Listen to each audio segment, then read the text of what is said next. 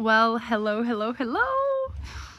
I um finally finished. You can officially, officially, officially congratulate me. I just finished my first manuscript on my first book. Now, this book is been in the making for the last few years. In fact, I can't even believe that I actually did this. I can't believe that it's finally finished. Of course, it's not fully, fully, fully done because now the first manuscript goes to my producer, then the producer checks it, comes back to me. I have to do it again, check it through. Then only we send it to the editors, they check then they come back. And so forth. This process is going to last another three months. But, but, but, I have done it. 60,000 words. They're going to chop the book, so don't worry. Gosh, I have to be honest with you. I've been crying and laughing writing this book, going down the memory lane. It's been kind of weird at the same time because a lot of the moments were still really painful and raw. So it's like a hundred percent raw story based on true events. The book is really about self help and inspiration and how to, you know, really help everybody who is potentially struggling or is in the suffering state and it's about my transformation how i went from that state into feeling the way i do now which is pretty much very happy all the time. And um yeah it's, it's just kind of been even transformational writing it. A little bit definitely um nerve-wracking in a sense that you know like wow i'm sharing so many private moments and details in this book i also collected like all the bits of information that i had uh, which was like my diary notes, my um, other old book notes, things that I used to write in the past, and I kind of just combined everything into one. And um, yeah, there's some there's some deep stuff in there, some raw stuff, some uh, painful things. Definitely been crying my eyes out for a while, only because you know, as anything that's been traumatizing or happened to you, maybe um, it's still you remember it with a little bit of sadness. It's normal, you know. So I was just releasing a lot of emotion. I just, I don't know. I can't believe it's actually happening. I don't think it's still like kind of popped in my head that I, I did it. I remember talking about it even to so many friends. I was like, yeah, I'm going to write a book. I'm writing a book. I'm going to do it. I'm going to do it. And, you know, like that's the thing. If you want to write a book, unless you set yourself a deadline, and even with my deadlines, I was like, okay, I'm to dedicate myself this like six months to like just write the book every day, you know, one chapter. But the reality is that it just doesn't happen like that. You know, you spend one day writing till 2 a.m., the next day you write only a little bit, then you don't write for three days so it's been a journey a journey that i actually really enjoyed um, I am just a little bit like nervous because I'm not a professional writer. For those of you who know my story a little bit, you know that I went, I came to England by myself when I was 14 and I didn't really speak English. So English is not my first language and writing a book in, in, English. Of course, I know how to speak and how to write, but still, you know, there's that little doubt in me that, like, okay, like, I, am not gonna sound as these like professional writers. I'm just gonna sound like me. I'm just gonna share like what happened and tell you pretty much like a story, like I'm telling you right now, just in a book form, and you know, share what actually happened, the story of my life, the all the bits, the private things that I went through personally and some people that have you know contributed to this journey of my life. And um, yeah it's pretty surreal. So if you haven't gotten on waitlist yet uh, to join my book uh, please do I am super super thrilled because I know this book is going to really help and inspire a lot of people. Even at the end when I was writing it I got inspired myself. I was like I went through all this? Like I am still here? Yes. You know it's kind of that realization and i think a lot of us don't give each other like ourselves credits you know?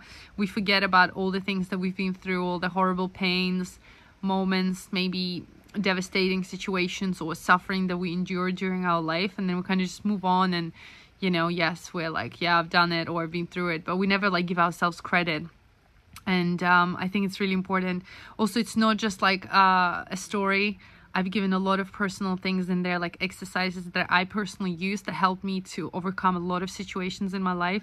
And honestly, I've been through it all.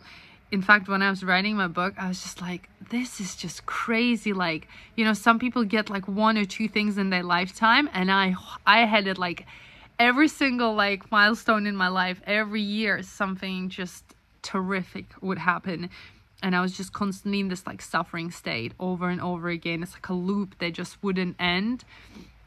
But guys, I am the prime example of what can happen when you truly, truly heal, when you truly, you know, I say let go and trust, trust the process, trust the world, trust yourself, and start to build that identity of who you are, start to um, appreciate and value yourself and, and feel that you are a unique and amazing person and that is so so important. I think once you start building that base of who you are you start to feel safe. You start to feel that you're unique and special and there's nobody like you out there. And these are just like the basic foundations which majority of us don't have. Did you know that 80% of people don't feel safe or that they can trust anybody it's actually really sad statistic. And again, it all comes from generations to generations of how we were raised, how our parents were raised, and their parents were raised. And, you know, these are just passed on and passed on. So it's not like, you know, a lot of people blame their parents, like, oh, parents didn't raise me this way, or they did that, or, or this. But the truth is, they just did their best. They did the best that they knew based on what their parents knew, and so forth. So you are in charge of how you now dictate your future, your children, your families, because you can be that horse. You can be that white horse that changes that track of suffering, of money issues, of everything negative that comes. And I realized that I am that white horse. And oh, it's it's a powerful realization. And I have to share it with the world. I have to share my story. It's it's just unbelievable, you know? And some of you might know me because you've been following me for a while. Some of you don't know me. You're like, who is this crazy woman? I'm a little bit crazy, it's alright. But soon everybody's gonna know this book. I'm gonna be everywhere because I realized that my mission is to help people. My mission is to transform people from suffering to happiness from state of awful pain to enjoying your life. And honestly, I never ever thought that I would say this. I never thought that this is the route that I'm gonna go to. I never even thought that I could feel this good like I do right now in my entire life. Because it's just been suffering after suffering after suffering. In fact, you know, I nearly died many times. And now I'm here, the healthiest I've ever been. I am enjoying life. I'm content. I'm calm. I'm in my feminine flow state, which I really enjoy being in. And I've got successful business. I've got incredible family and friends. And I just, you know, realized that the only thing that I guess was stopping me to get here was just my mindset and a lot of understanding of my traumas. So a lot of healing had to go through for me to put the pieces together. And never in a million years did I ever think that this is what it feels like to be content and happy. And I know that there is more coming because if this is how good I feel now, with all the knowledge that I know now, what's going to happen later is going to completely blow my mind. So I really want to invite you onto this journey.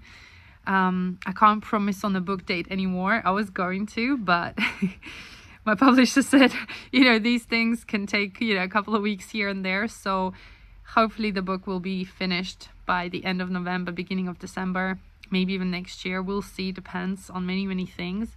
But I really want you to come onto this journey with me.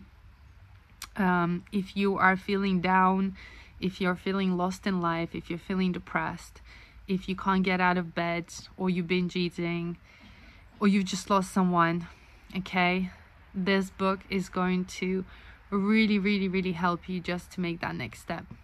And I just want you to understand that I've been literally through it all, and I want to be that example of inspiring uh, people that it's absolutely possible to get through everything in this life. You're so much stronger than you think. And it's not even about the strength, it's more about the fact that you're given these challenges for a reason. And when you get through these challenges, there's so much more on the other side.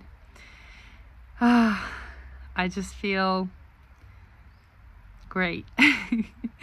I really hope you enjoyed this video. I'd love your feedback. So please reply below. Let me know what you think.